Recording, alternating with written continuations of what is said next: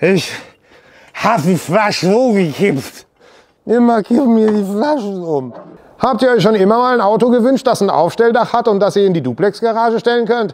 Und habt ihr euch immer schon mal ein Auto gewünscht, das wahnsinnig schnell über Typ 2 laden kann? Und habt ihr euch schon immer mal ein Auto gewünscht, das auf Knopfdruck die Scheiben verdunkeln kann? Und habt ihr euch immer schon mal ein Auto gewünscht, das im Alltag gut ist, das ihr aber auch als Camper nutzen könnt? Ja, dann seid ihr hier genau richtig, bei Carmaniac. Und äh, was soll ich noch sagen? Abo und Evium. Natürlich, habt ihr euch immer schon mal gewünscht, von einem Glatzkopf Autos präsentiert zu bekommen und habt ihr euch immer schon mal gewünscht, gebrauchte Elektroautos und natürlich auch Vorführer und Neuwagen zu finden mit einfach nur einem Klick? Dann schaut vorbei auf Evium, dort findet ihr die natürlich. Und auch einen Kostenvergleichsrechner, nämlich wie teuer ist der Verbrenner im Gegensatz zum Elektroauto. All das findet ihr dort und noch vieles mehr. Also, abonniert den Kanal. Vielen Dank, Ente. An dieser Stelle, gern geschehen, Mann. Wir beschäftigen uns heute mit dem EQT als Marco Polo. Richtig krasses Highlight, wie ich finde. Und dem EQT als generell Basis EQT. Was der so kann, da werden Familien hellhörig. Ich habe tolle, tolle, tolle Features. Wir haben vieles vor. Aber natürlich, nobody's perfect. Deswegen gibt es auch hier Punkte, die ich ansprechen muss, die ihr natürlich wissen müsst für eure Kaufentscheidung. Ihr seid hier genau richtig was das Thema Elektromobilität ohne rosa-rote Brille angeht. Herzlich willkommen bei Kameniak, legen wir los. Ach so, was ich hier ganz vergessen habe, sonst kriege ich wieder auf die Fresse. Wenn ihr einen Mercedes wollt oder auch einen Skoda, dann wendet euch an Autohaus Ebert in Weinheim, denn das ist der Händler, von dem auch der glatzköpfige Bonze hier seine Karre hat, Mann. Und die sind total nett, die sind voll auf Elektro und da könnt ihr auch vielleicht mal dazu sagen, so hey, ich komme vom Chris und dann kriegt ihr mal das Auto vielleicht für ein Wochenende. Völlig egal, ob Skoda oder Mercedes. Also nicht vergessen reinzuschauen. Wie hast du mich genannt? Na, glatzköpfiger Bonze, das was du bist. Oh Mann.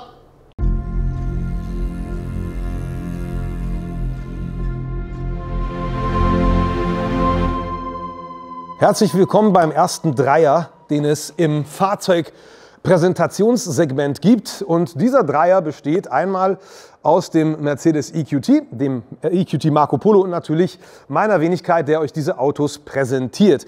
In dieser wirklich sehr pfiffigen äh, Kulisse hier mit Moos, welches oder welche Gras darstellen soll und viel Campingzeug und sowas, denn das ist heute unter anderem Thema bei dieser ganzen Sache, denn der EQT soll nicht nur Familie können und Alltag, sondern auch mal so wie Mercedes sagt, das ähm, kleine Entfliehen aus dem Alltag. Und das kann er gut.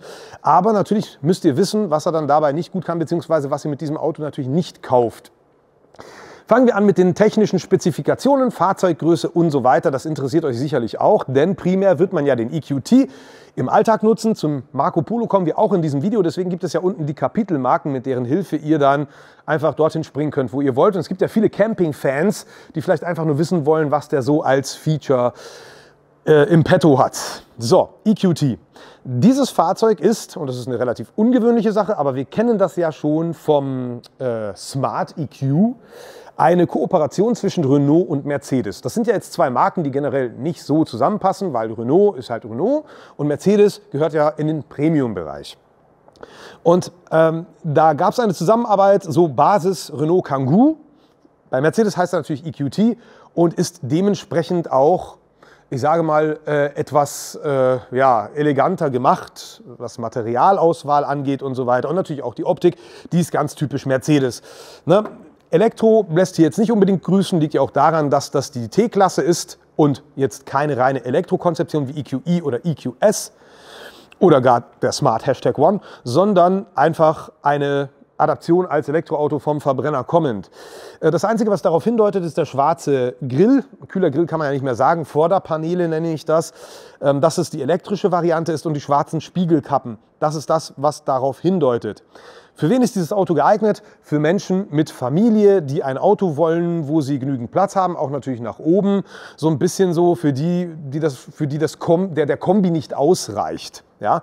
Matrix-LED gibt es hier aber zum Beispiel nicht, sondern nur High-Performance-LED. Das bedeutet, du, kannst, äh, du hast einen Fernlichtassistenten, der aufschalt, also anschaltet und abschaltet, wenn Gegenverkehr kommt, aber dieses Auskegeln und so gibt es nicht. Da ist diese Funktionalität natürlich der Klasse zum Opfer gefallen, weil das ist ja eigentlich nicht die Klasse, wo man sowas kriegt. 16 Zoll Felgen sind Serie, zum Preis kommen wir natürlich auch noch. Keine Sorge, das vergesse ich nicht.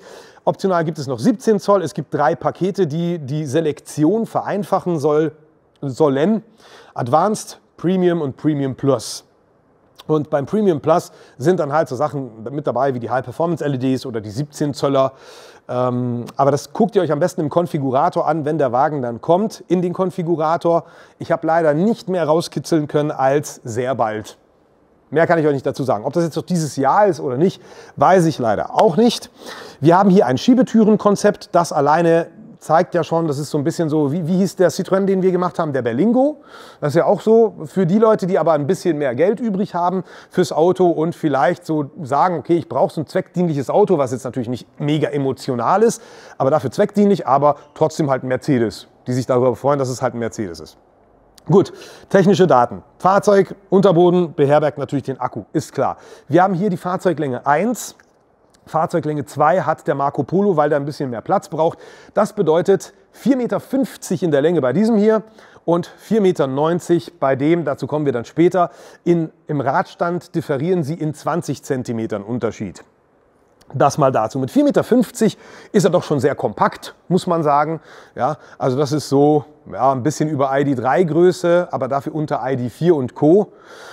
Und ähm, 45 Kilowattstunden hat der Akku netto. Das ist eine ziemlich untypische Batteriegröße für Mercedes, weil was kennen wir von Mercedes? Wir kennen den EQA, EQB, EQE, EQS und so. Und kein einziges Auto kommt mit einer so kleinen Batterie daher.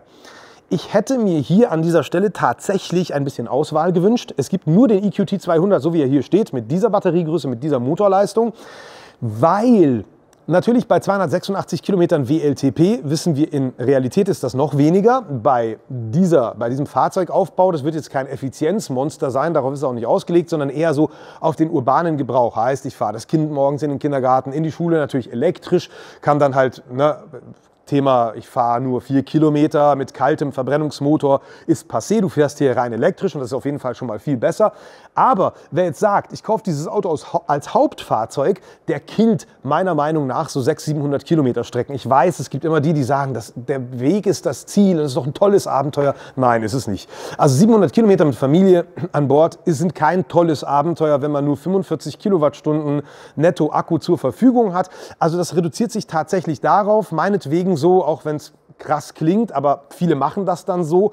Als Zweitwagen, als Hauptwagen haben sie ein Elektro mit einem größeren Akku oder so oder gar noch einen Verbrenner. Und der Zweitwagen ist dann der hier, der halt so für die Alltagsgeschichten dient. Aber wenn wir jetzt mal von so 22 Kilowattstunden Verbrauch ausgehen, ja, bei den heutigen Preisen auch noch, wo die Ladeanbieter anziehen, aber Preise sind jetzt eher sekundär, sondern mehr die Reichweite, dann haben wir ja, wenn wir 22 Kilowattstunden verbrauchen, nur 200 Kilometer Reichweite. Das klingt echt wenig und ist es ja letzten Endes auch. Im urbanen Bereich schaut es da schon anders aus. Der wird nicht ineffizient sein. Allerdings gibt es, und das ist leider ein Minus auf der Liste, sogar ein größeres als die Akkugröße, weil mit der Akkugröße kannst du leben, darauf lässt du dich ja ein, deswegen kaufst du ihn ja, du weißt das ja schon vorher, aber er hat keine Wärmepumpe. Hat der EQS auch nicht, das wird nachgeliefert bei Mercedes, bei EQS und EQE, allerdings weiß ich nicht, ob das bei dem hier der Fall ist, aber ich merke es an meinem, der sonst sehr effizient fährt, trotz seiner enormen Leistung, der EQS 580, ab 10 Grad abwärts wird er richtig ineffizient. Und das liegt halt einfach daran, dass er keine Wärmepumpe hat. Und ähm, alles, was ich heize, mache ich über den elektrischen Zuheizer na, und ziehe das aus dem Hochvolt-Akku, anstatt dass eine Wärmepumpe diese Geschichte übernimmt. Und das kann dann natürlich in noch weniger Reichweite resultieren. Ist jetzt innerstädtisch nicht so schlimm, weil ob du jetzt 200 Kilometer schaffst oder 170, macht er auch nicht den Bratenfett. Aber auf der Langstrecke wird das schon ein bisschen problematisch. Wenn wir hier schon vorne stehen, hier ist der Motor, also es ist ein Vorderradantrieb mit einem Motor vorne. Dementsprechend haben wir keinen Frunk, also keinen zusätzlichen Kofferraum. Der Motor leistet 90 kW, was 122 PS sind. Für diese Klasse, für diesen Zweck vollkommen okay. Ihr wisst, normalerweise würde ich sagen, was, äh, überhaupt nicht genug, aber absolut ausreichend für den Zweck, für den dieses Auto eingesetzt wird. 134 km/h, wohlgemerkt nicht 135, nicht 133, schafft der Wagen in der Höchstgeschwindigkeit auch eine kritische Sache unter normalen Umständen, aber wie gesagt, mit diesem Auto meidet man eigentlich längere Autobahnetappen. Was macht man mit diesem Auto? Man fährt halt, wie gesagt, im Alltag hatten wir ja schon, oder man nimmt dieses Modul dazu, was der hier hat, alternativ zum Marco Polo, nämlich dass man mit dem auch Camping machen kann, in Anführungsstrichen.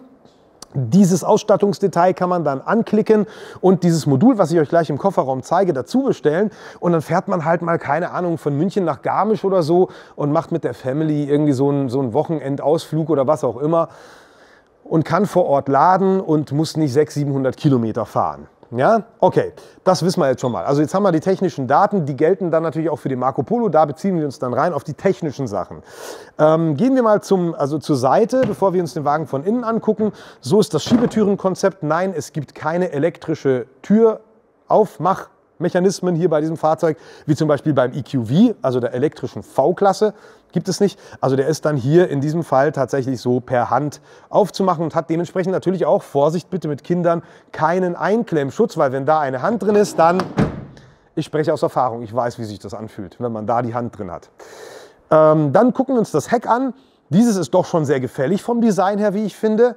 Also mir gefällt er von hinten wesentlich besser als von vorne. Ich finde diese LED-Grafik sehr schön. Ja, und äh, er hat halt so, was halt diesem, dieser Form zum Opfer fällt, hat man da, finde ich, gut was rausgeholt. Wir haben auch eine relativ amtliche Anhängelast.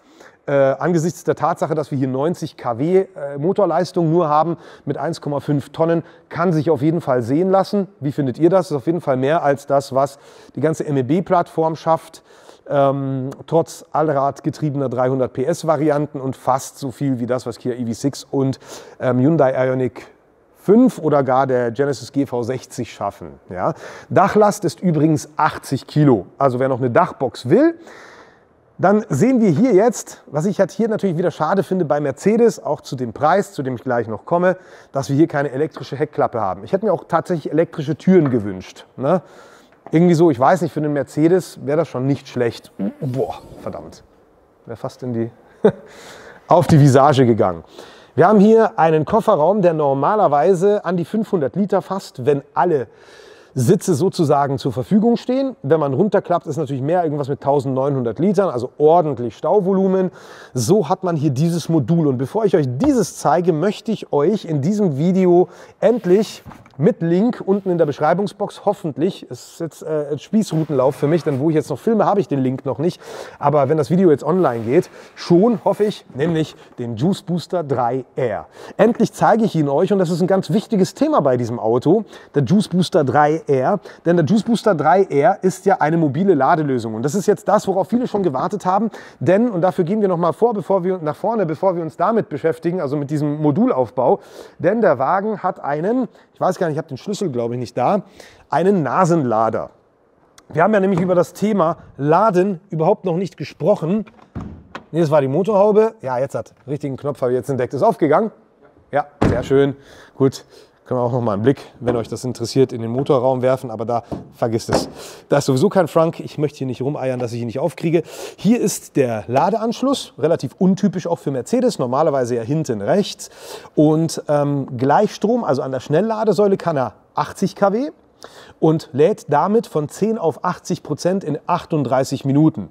Katastrophaler Wert unter normalen Umständen hier okay, weil äh, ich glaube, dieser obligatorische Ladestopp mit Family, wie gesagt, man fährt mit diesem Auto nicht so Langstrecken. Wenn man es mal tut, kann man mit 38 Minuten dann leben.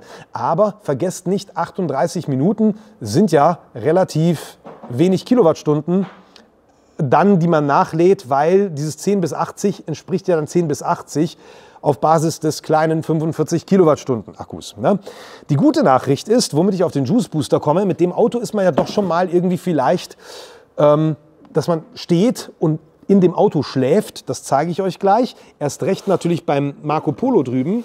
Und dann möchte man laden. Und das Tolle ist, weil eben Kooperation mit Renault, kann dieses Auto serienmäßig 22 kW laden.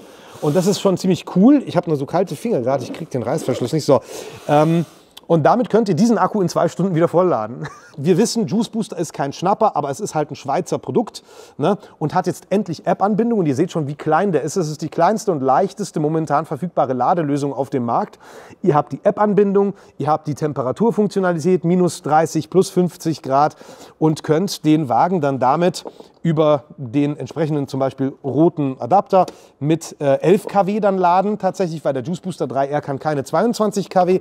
Wenn ihr den Wagen mit 22 kW laden können wollt, dann müsst ihr den Juice Booster 2 nehmen. Den gibt es natürlich nach wie vor. Ich mache noch eine separate Produktvorstellung mit dem Gerät, damit ihr wisst, was der kann. Unten in der Beschreibungsbox verlinke ich euch den. Also das ist schon mal cool. Wenn ihr das mit den 11 kW macht, dann dauert das so an die vier Stunden, dass der Wagen geladen ist. Das liegt dann halt auch daran, dass irgendwo natürlich die kleine Größe ähm, realisiert werden musste und deswegen gehen halt die 22 kW nicht. So, jetzt äh, macht Mercedes Schubladendenken salonfähig. Warum Schubladendenken? Weil wir einmal das hier haben. Das ist eine Kühlbox. Diese Kühlbox, da musst du, glaube ich, auf die Seite kommen, weil sie sich von hier öffnen lässt.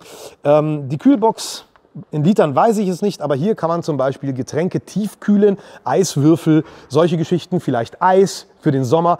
Ich denke da auch an den Ausflug an den See oder so, irgendwie an, in die Berge. Also jetzt nicht so irgendwie Megatouren, sondern dass man mit der Family einfach mal rausfährt und dann hier so kühle Getränke drin hat, ne? hat einen ähm, äh, sozusagen elektrischen Support, wie auch hier eine elektrische Pumpe für das Wasser. Ja, das, kann, das heißt, man kann hier sogar abwaschen oder generell halt einfach diese Funktion nutzen und man musste auf Platz achten. Deswegen denkt man sich, wie viel Wasser soll denn da schon reinpassen? Ja, das kann man so aus, äh, ja, drücken sozusagen und dann hat man hier so ein größeres Gefäß.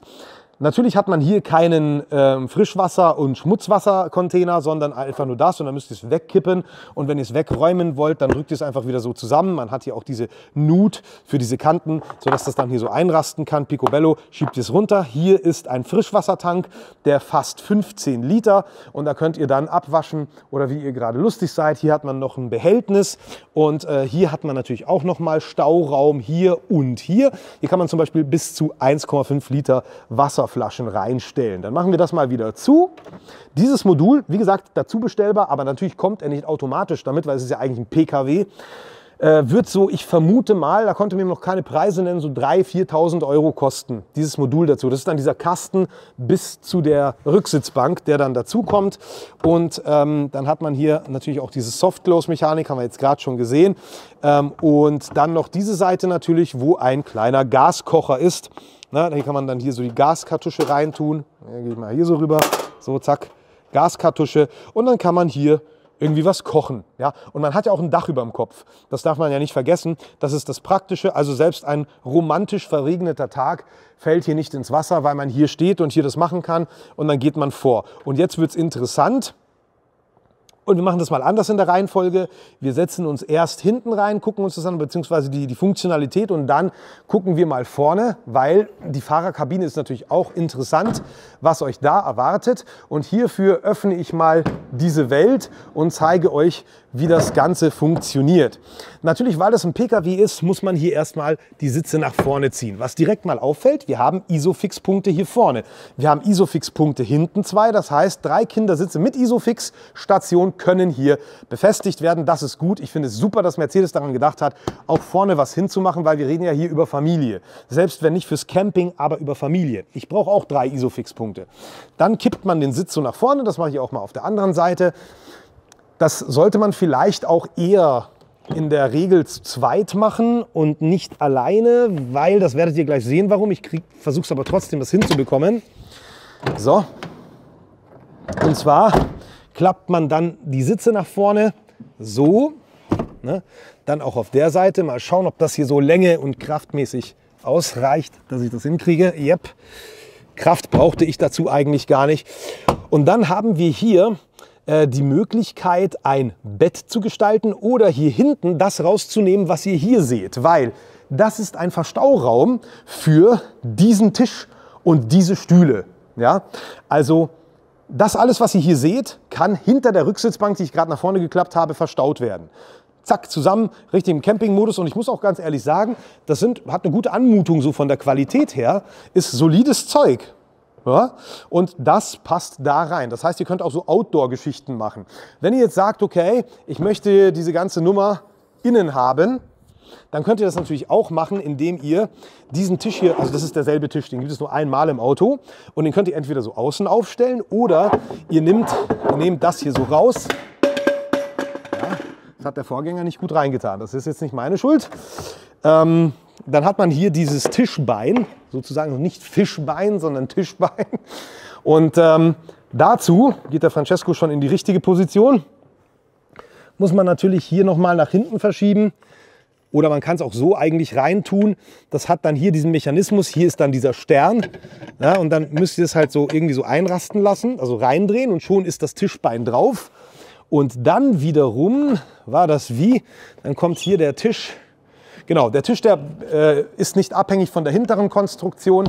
Den kann man dann hier einfach so drauf tun. Zack, einfach so, fertig, ne, draufdrücken. Und dann habt ihr hier den Tisch, natürlich mit hochgeklappten Sitzen, damit ihr sozusagen indoor essen, trinken könnt. Ziemlich cool, oder? Und die Sitze, die muss man dann natürlich noch nach ein bisschen nach hinten machen, damit man so einen Widerstand hat, damit der Tisch dann nicht wackelt. Also der wackelt dann nicht. Ja, das ist so die Idee fürs drinnen genießen, aber dann nur für zwei Personen, weil da vorne kann niemand sitzen. Gut, drei Personen theoretisch, weil hier könnten jetzt natürlich auch drei Personen sitzen, aber der mittlere Sitz, da muss man schon wirklich sehr, sehr zierlich sein. Äh, also eher für zwei Personen, so zwei Personen Romantik. Ne? So, dann klappen wir das Ganze jetzt wieder runter, nehmen diesen Tisch raus und ich zeige euch die weitere Funktionalität der ganzen Nummer hier. Für all diejenigen, die an diesem Modul interessiert sind. Ich packe das jetzt mal auch, packen wir es einfach mal wieder zurück. Ich muss das auch mal lernen, dass ich Sachen zurückpacke. Francesco sagt immer, ich bin so unordentlich. Stimmt's? Nee. da siehst du, ich, ich räume schön auf, trotz dessen, dass mich das wichtige Videozeit kostet. Aber das zeigt euch ja auch, wie easy oder wie schwierig etwas ist. Und in diesem Fall ist es tatsächlich nicht schwierig. So, zack. Das Tischbein, kommt mal her, nur damit ihr es wisst. Ähm, das fällt natürlich normalerweise nicht raus. Wenn man diese Tischplatte rauszieht, das hat hier jemand falsch reingetan, deswegen ist dieses Tischbein rausgefallen. Das ist normalerweise jetzt nicht so stümperhaft, keine Sorge. Und ähm, dann kommt jetzt äh, das Spektakel mit dieser Tischkonstruktion, die eigentlich keine Tischkonstruktion ist, sondern vielmehr eine Bettkonstruktion. Kannst du bitte den blauen Hebel ziehen? Schaffst du das mit der Kamera? Das ist das, was ich gemeint habe. Man braucht zwei Hände, zwei Menschen, weil so weit komme ich nicht rüber. Wenn man das aber gemacht hat, schaut mal her, ist das cool oder ist das cool? Ihr habt hier ein Bett mit sogar dem Komfortfeature, dass man hier halt so Federelemente hat. Und dann zieht man einfach nur die Matratzen vor, ja, so. Diese muss man hier dann so ein bisschen drehen noch und hat hier seine persönliche Schlafmöglichkeit, was ja im Elektrobereich, muss ich euch nicht sagen, ne, salonfähig geworden ist. Wir schlafen im Elektroauto. Soll ich mich drauflegen? Soll ich es den Leuten zeigen? Okay. Dann bleib da, wo du bist. Ich steige von hier hinten drauf, aber natürlich bitte nicht auf, den, auf die Heckstoßstange. Ja, also man muss hier schon gute Skills haben. Ein bisschen so Ballett hätte nicht geschadet, glaube ich. Ja, und dann kann ich hier so zum Beispiel, ich mach mal mein Mikro ab, warte, Bauch schlafen. Hört man mich noch? Ja. ja. Also ich könnte hier auf dem Bauch schlafen. Das sind, glaube ich, zwei Meter, aber es wird knapp. Also wenn mein Kopf hier oben ist, meine Füße hängen schon fast runter. So, ne? Aber es geht. Und es geht auch zu zweit. Kommt halt auch drauf an, ob man neben der Person, neben der man liegt, schlafen will oder nicht. Wenn man es will, ist das doch schon recht angenehm. Ne? Also hier würde auf jeden Fall J-Lo neben mir reinpassen. Ne? So, genau. So viel dazu. Jetzt habt ihr es gesehen, jetzt kriege ich wieder raus. Francesco bleibt da. Also ihr habt gesehen, das Ganze ist ziemlich unkompliziert zu machen. Allerdings würde ich jetzt zum Beispiel nicht mehr nach hinten aussteigen, weil hinten die Stoßstange ist und beim Raussteigen sehe ich das ja nicht mehr und steige dann auf die schöne lackierte Stoßstange drauf. Hier spüre ich ja, wenn ich auf die Trittfläche gehe. So, genau. Das ist ein bisschen so Amateur-Style, aber ihr habt es gesehen, so ziemlich live. Ich mache das auch deswegen live, damit ihr sehen könnt, wie das halt funktioniert. Und es war auch wirklich gemütlich durch diese Federelemente hier unten. So, Jetzt haben wir das gesehen. Jetzt kümmern wir uns mal vorne um den Cockpit-Bereich, da wo Daddy sitzt oder Mami. Hier hinten ist ja eher so der Freizeitbereich. Vorsicht beim Hochklappen, schaut mal. Das darf nicht den Finger einklemmen, wenn ihr es mal ausprobiert. Kann wehtun. So, zack. Und dann auch nochmal bitte ziehen, Monsieur. Merci beaucoup. Dann schieben wir das rein. Zack. Also wirklich sehr clevere und simple Lösung. Aber hier spricht auch ein Camping-Rookie. Also ich bin nicht besonders erfahren bei sowas. Und man muss auch nichts ziehen, sondern einfach nur hochklappen. Das geht auch ziemlich easy. Okay, dann haben wir das gemacht. Jetzt gehen wir nach vorne und gucken uns noch an, was uns da erwartet. Und dann, dann gehen wir zum Marco Polo. Der Wow-Effekt entsteht hier durch das Wow, wir haben viele Ablagefächer und äh, wir haben viel Platz, als durch Materialanmutung oder Auswahl. Jetzt ist das Radio gerade angegangen, das wollen wir nicht, weil, wie Francesco gerade schon gesagt hat, wow, wie hast du gesagt, was für eine Party? Plastikparty. Plastikparty. Ja, wir merken hier auch einige Sachen aus dem Hause Renault. Der Gangwahlhebel zum Beispiel, wir haben das ja normalerweise hinter dem Lenker oder ja, hinterm Lenker bei Mercedes. Das hier erinnert stark an Renault und das hier. Ansonsten hat man hier aber schon darauf geachtet, den Mercedes-Kunden abzuholen. Man hat hier ein gigantisches Display eingebaut. Äh, dieses hat 24 Zoll. Nein, natürlich nicht. Also wirklich ein sehr kleines Display. Dafür haben wir aber das MBUX, also alles, was halt die Funktionalität, Laderoutenfilter und sowas, da ist Mercedes ganz vorne mit dabei. Was heißt mit dabei? Ich finde momentan ist MBUX das beste System, das es gibt, allerdings sehr klein dargestellt. Hier die EQ-spezifischen Geschichten, ne? wir wissen ja schon, was das alles kann. Allerdings diese Kante hier äh, bedeutet, dass ich hier manchmal leider auf die Kante tippe, anstatt auf das Display. So, Reaktionszeit ganz gut, Navigation super, also das kann ich euch jetzt aus Erfahrung sagen, aber es ist schon ein sehr kleines Display. Ist alles sehr auf Pragmatik. Wir haben hier einen analogen Tacho, kennen wir vom EQV. Man hat hier gesagt, ja, ähm, man hat hier halt extra auf diese Kategorie Fahrzeug, bla bla bla. Ich finde, das ist überholt. Ich möchte einen digitalen Tacho. Ähm, möchte ich auch im EQV, kriege ich auch da nicht für 100k oder mehr als 100k. Dafür habe ich aber ein schönes Lenkrad, definitiv schöner, als du das jetzt bei Renault kriegen würdest. Und natürlich das hier, dieses Bedienfeld, das finde ich sehr schön. Das ist halt hier so schon wie bei einer E-Klasse oder S-Klasse. Finde ich schön. Ne? Die Bedieneinheit gefällt mir, das Leder gefällt mir auch sehr gut. Das hier ist Plastik, ist es aber auch bei einem EQS oder EQE. Lediglich hier haben wir hier dieses Mikrofaserzeug. Das fühlt sich sehr schön an, aber das ist auch das Einzige, wo man eine Haptikverliebtheit befriedigen kann. Boah, habe ich das schön gesagt. Ansonsten Hartplastik. Und wie hart? Hartplastik. Hartplastik. Hartplastik. Ja, ist natürlich der Zweckdinglichkeit gut. Die Kiddies zerkratzen das Ganze nicht, aber du hast hier auch die, wie der Francesco sagt, Hartplastik-Party in der Tür letzten Endes bis auf die Armablage und alles, was um die Armablage herum ist, ist auch dieses Mikrofaser. Ansonsten sehr viel Hartplastik. Aber wie gesagt, das stört, ich weiß nicht, schreibt in die Kommentare, stört euch das als Kunde dieses Autos? Vielleicht stört euch das nur wegen des Preises. Zu dem kommen wir noch. Wir haben hier große Ablagefläche, äh, nicht Fächer, Flächer, sondern Fächer. Hier oben ne, sieht man, sieht der Francesco sogar besser als ich, weil ich da mein Auge jetzt nicht hintun kann. Ähm, so, dass man hat hier einen Haltegriff. Also man hat hier letzten Endes wieder mal auf die Haltegriffe verzichtet, wie so häufig momentan bei Mercedes. Aber das hat man äh, geschickt hier eingebaut. Hinten hat man sie ja, wie ihr sehen könnt. Ne? Also, mehr gibt es nicht zu sagen. Ich mache mal den Sitz nach vorne in meine Drivers Position, damit wir noch gucken können, wie ich hinter mir selber sitze, wie es da Platz gibt. So, haben wir das. Und äh, ja, so sitze ich hier und habe meinen Arbeitsplatz sozusagen. Mittelarmlehne, bisschen Stauvolumen. So, brauchst gar nicht länger auf, drauf einzugehen, so schaut es aus. Hier unten ist das Handy, ach ja, und die App. Wir haben ja auch eine App-Anbindung, weil es ja ein Mercedes ist, die schaut so aus, kann ich euch zufällig zeigen, weil ich ja meine habe. So, ne? Hier gibt es sehr, sehr viele Einstellungsmöglichkeiten, Ladestatus, so könnt ihr alles mögliche einstellen in der Mercedes-App, so hier Vorklimatisierung, Parküberwachung, je nachdem natürlich, was das Auto dann auch an Funktionalität bietet. Ne? So schaut es dann hier so aus, Fahrzeug finden, lalala all diese ganzen Geschichten. So, Navigation könnt ihr Ziele ans Auto senden, schauen, wo ihr gerade selber seid. Tippitoppi. Also die App ist schon wirklich gut, arbeitet auch wirklich zuverlässig, was ja nicht immer so des deutschen äh, Herstellers Aushängeschild war. Getränkehalter haben wir hier unten. So, hier nochmal, ne? dann noch diese Anti-Rutschmatte fürs Handy, USB-C-Anschlüsse, zwei Stück, ein 12-Volt-Anschluss und dann war es das eigentlich auch schon. Ähm, gehen wir nach hinten. Und dann beschäftigen wir uns mit dem Auto da drüben, mit dem Marco Polo. Ja, ein Raumwunder ist er ja irgendwie nicht. Ne? Also ich sitze jetzt hier hinter mir selber. Ähm, ihr wisst, ich bin großer Mercedes-Fan. Ich fahre ja selber Mercedes. So. Mercedes-Fan geworden, weil früher war ich ja kein Mercedes-Fahrer. Aber ich muss halt schon kritisieren, was es zu kritisieren gibt. Und das ist so klar, man sitzt nicht mit 1,88 hinter 1,88, aber das ist schon eng. Man hat hier noch ein Tischlein, das man auch klappen kann. Aber ich denke hier auch ans Kind, das über Isofix befestigt ist. Passt hier überhaupt die Isofix-Station hin und dann die Beine des Kindes, das ist ja streckt, weil sie ja noch zu kurz sind, um sie zu beugen? Ich weiß nicht.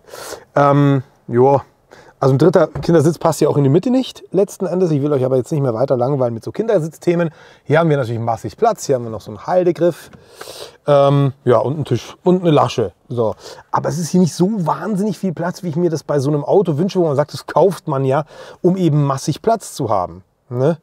Ähm, genau, so viel dazu. Also man sitzt auch sehr aufrecht. Ich weiß nicht. Ob da nicht irgendwas anderes von, wenn es ein Mercedes sein soll, die bessere Lösung ist vielleicht. Dann halt aber ohne Campingmodul natürlich EQB oder so.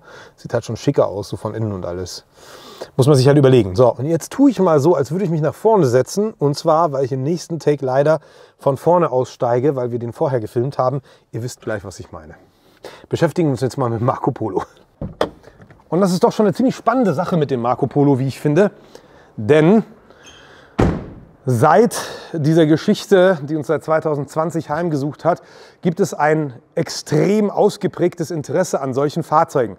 Was ist jetzt am Marco Polo so besonders? Also wie die Ente am Anfang ja schon gesagt hat, hat man hier die Möglichkeit, ein Auto mit Aufstelldach zu fahren, das aber trotzdem in eine Duplex-Garage passt. Es ist jetzt nicht ausgeschlossen, dass Menschen, die ein Elektroauto fahren, auch eine Duplex-Garage haben.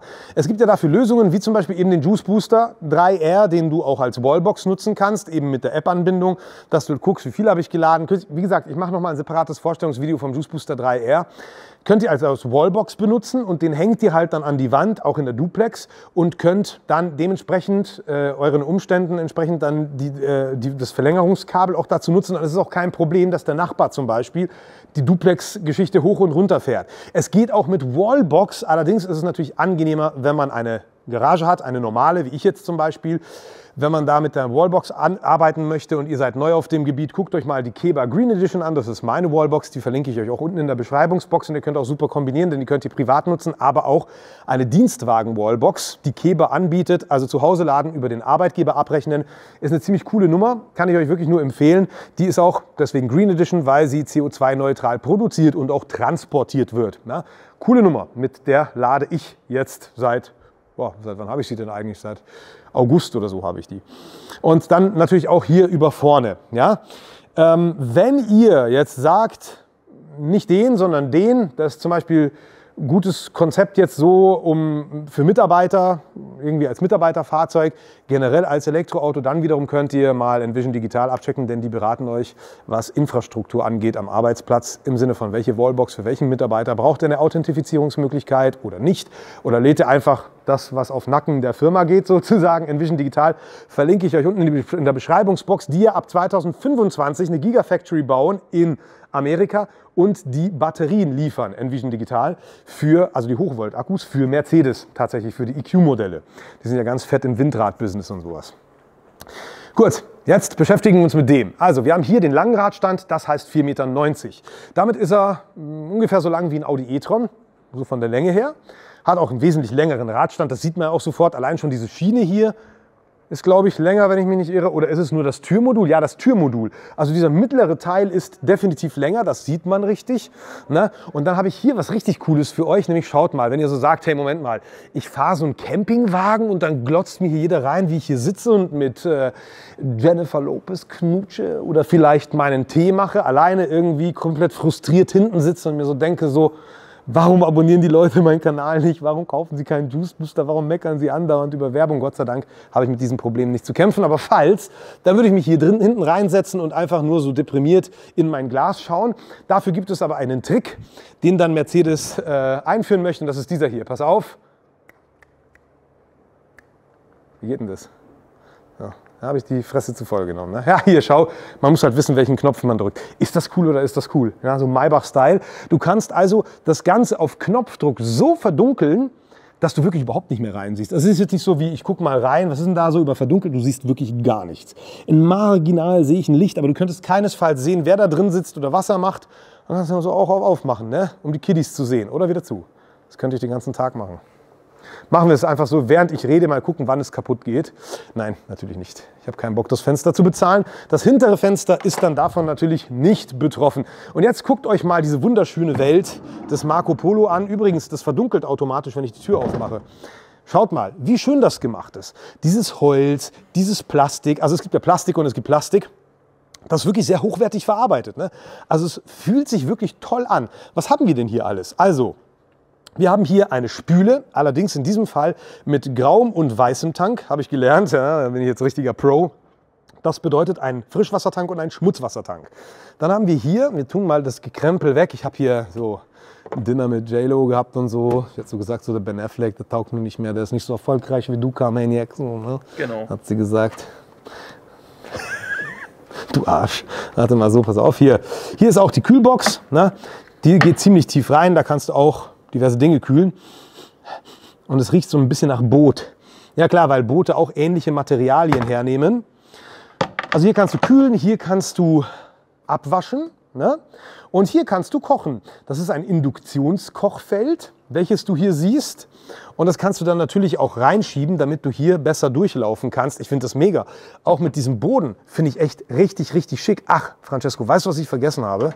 Ich habe vergessen, den Zuschauern zu sagen, was der gute Kollege da hinten kostet. Komm mal hier auf mich so, richtig close-up. Der da drüben, ne, habe ich ja nicht gesagt, den Preis. Ja, das ist halt hier der Wermutstropfen, muss man ganz klar sagen.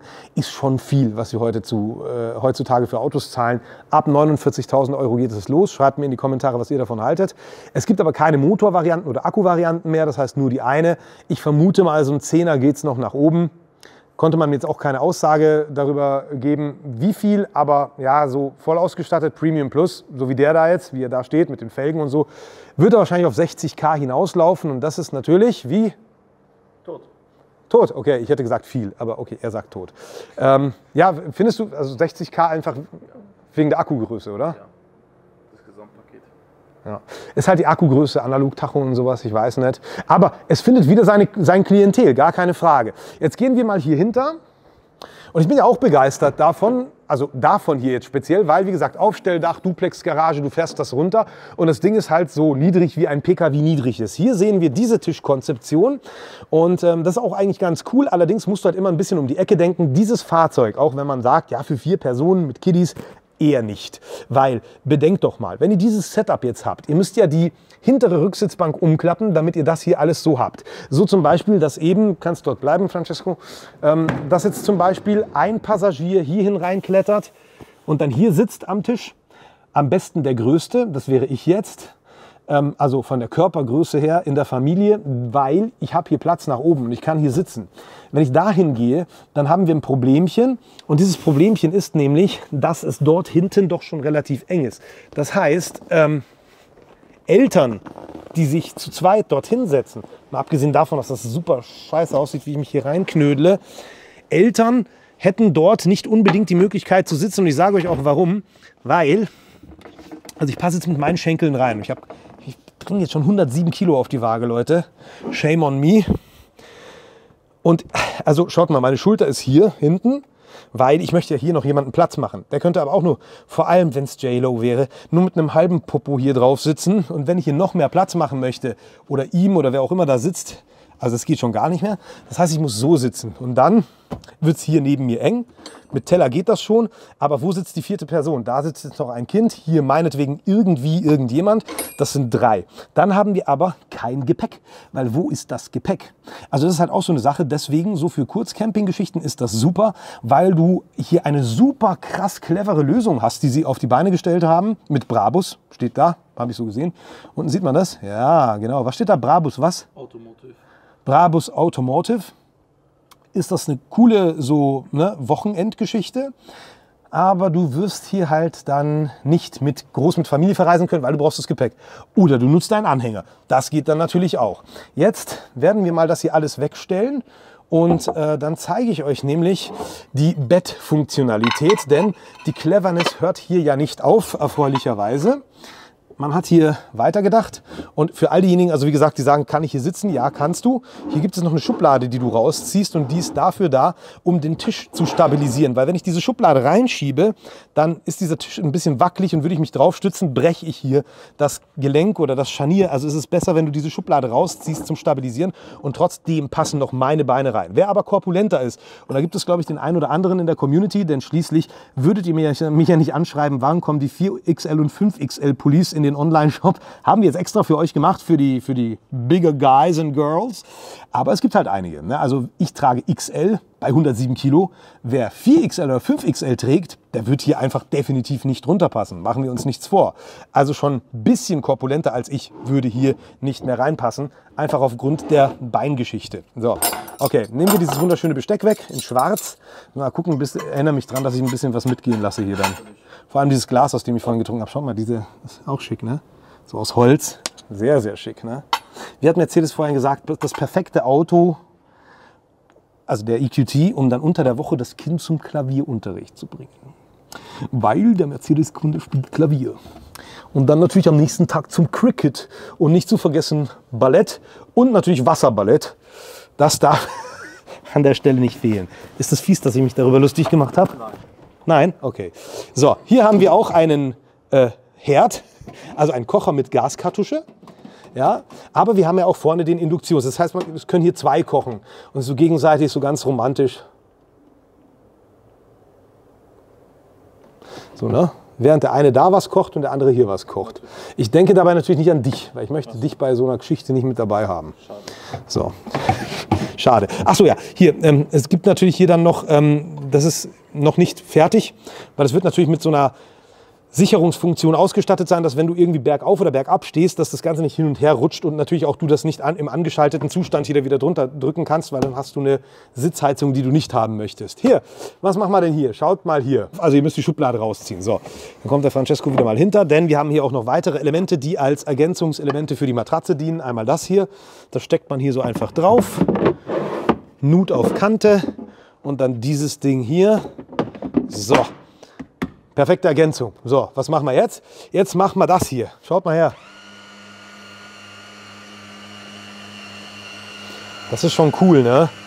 Dass man die Konsole hier so runterfährt.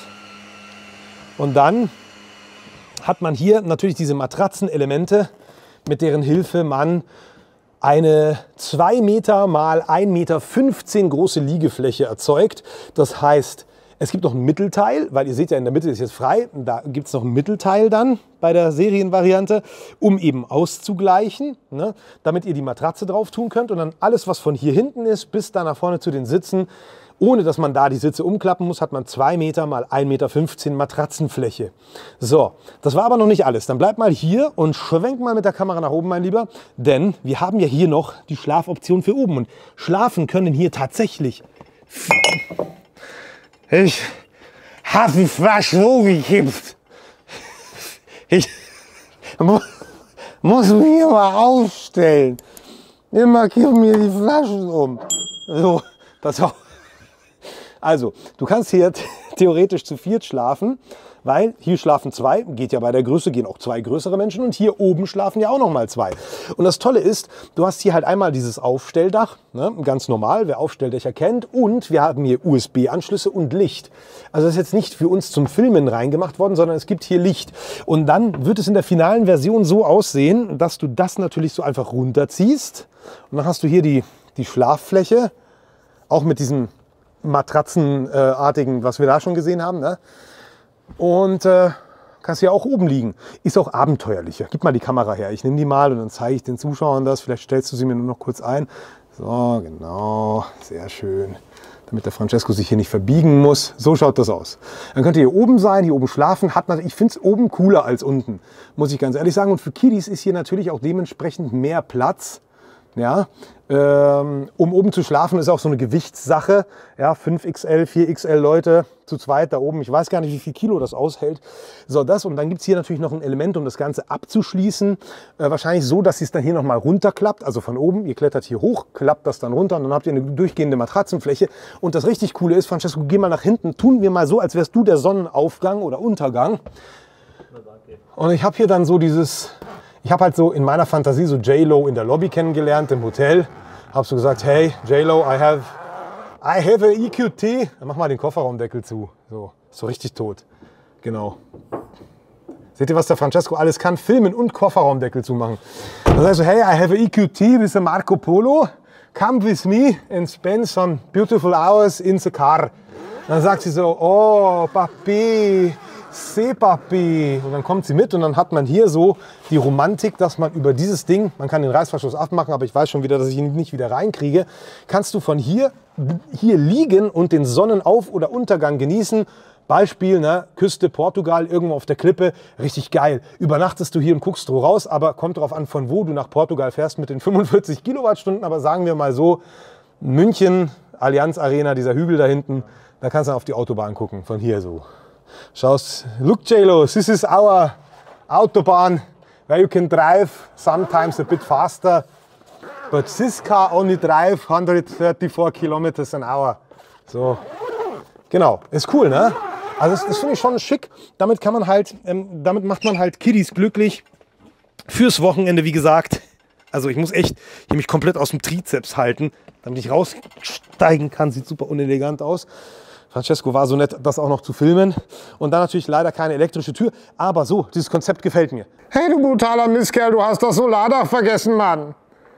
Stimmt, das habe ich vergessen. Das ist wohl wahr. Vielen Dank, liebe Ente, an dieser Stelle. Wir haben hier ein Solarmodul oben auf diesem Aufstelldach und das hat 100 Watt Leistung und versorgt dann hier diese ganze Geschichte noch mit wenn es natürlich äh, Sonne gibt. Und das ist eine ziemlich coole Idee. Die sehen wir jetzt nicht, weil es weit oben ist und weil Konzept kann ich das jetzt nicht runterdrücken. Aber es gibt ein Solarmodul auf dem Dach. Richtig coole Geschichte, wenn du eben keinen äh, Wohntrailer hinter dir herziehen willst. Da wird es auch bald ein Video bei mir geben, wo ich mit meiner kleinen Tochter Celeste für ein Wochenende in den Wald fahre mit einem Anhänger, einem ganz besonderen Anhänger am Elektroauto dran. Und welches Elektroauto das wird, das wird auch eine Überraschung sein. Das werdet ihr auch sehen. Und äh, dann hat man aber auf dieses Angehänge verzichtet, sondern hat hier diese Aufstelldachfunktion. Coole Nummer, wie ich finde. Man hat sehr viel rausgeholt, auch auf eine sehr elegante Art und Weise aus dieser Karosserieform. Aber wir haben hier natürlich die Aspekte, die wir nicht außer Acht lassen können. Kleiner Akku, Gut, die Nachladegeschwindigkeit sehe ich jetzt nicht problematisch. Eigentlich ist es nur der kleine Akku und der hohe Preis. Also hier wirst du safe 70k hinlegen. Aber hey, ich meine, die Campingfreunde, die blättern auch mal gut und gerne 400.000, 500.000 Euro für einen Camper hin, wie es scheint. Also von dem her dürfte das nicht äh, die Bremse sein bei der ganzen Sache. Schick sieht er echt aus. Gefällt er dir optisch? Auch wenn du diese Form nicht magst, ich weiß das ja. Sieht cool aus, ne? Ist echt schick. Ist ein schickes Auto für den Alltag. Auch der vielleicht nicht diese Farbe, dieses Blau gefällt mir irgendwie nicht. Das hat so irgendwie was von, ich weiß nicht, sieht aus wie so ein äh, Nutzfahrzeug. Aber wenn man den so grau macht wie den, mega, mit den Heckleuchten richtig schön, aber ihr müsst wissen, ihr kommt damit nicht weit. Im Alltag schöne Lösung für die Family. Hinten finde ich es halt ein bisschen eng, wenn man sitzt, aber sonst, ja, ihr müsst halt den Geldbeutel haben und ihr müsst wissen, momentan zahlt ihr tatsächlich wirklich sehr viel für alles. Auch für so ein Auto, 49.000 ich hätte mir gewünscht, dass der ein Zehner günstiger wäre tatsächlich, weil für die Masse ist das halt so wieder, welcher, welcher Durchschnittsfamilie mit durchschnittlichem Einkommen, wo die Frau dann auch in Mutterschaftsurlaub geht und dann wie viel 60 Prozent ihres Gehaltes kriegt, sollte sich das leisten können. Es ist halt so der Punkt. Es gibt die, die sich leisten können, aber es ist wieder kein Massenprodukt. Vergesst nicht, Juice Booster 3R unten in der Beschreibungsbox. Video darüber folgt, was der so alles kann. Und natürlich auch vergesst nicht beim Ebert anzurufen, wenn ihr Mercedes-Modelle oder Skoda ausprobieren möchtet, denn Skoda hat er ja auch. Und wenn der dann dort ist und er wird schnell dort stehen, da könnt ihr euch sicher sein, dann könnt ihr ihn einfach mal ausprobieren. Sagt dem Ebert, ihr kommt vom Car-Maniac und dann kriegt ihr ihn mal für ein Wochenende mit und könnt die Variabilität ausprobieren mit oder ohne diese Modulbox da hinten, wie ihr auch lustig seid. Alle Infos unten in der Beschreibungsbox, alles zum Nachlesen. Vielen Dank fürs Zuschauen. Vergesst bitte nicht den Kanal zu abonnieren, das würde mich freuen. Einfach ein bisschen Kanalwachstum reinbringen. Wir sind jetzt bei 260.000 Abos. Vielen Dank für euer Vertrauen natürlich an dieser Stelle. Und dann bis zum nächsten Mal. Auch im Online-Shop könnt ihr vorbeischauen, denn wie gesagt, wir haben jetzt auch 4XL, 5XL und Standpunkt jetzt hat der Robert aus dem Online-Shop die ganze Geschichte nochmal um vier Tage verlängert. Und dann könnt ihr auch nochmal mit Rabatt einkaufen. Vielen Dank fürs Zuschauen. Ciao. Ente, willst du auch nochmal Ciao sagen? Nein, Mann, ich habe keinen Bock. Unsympathische Ente.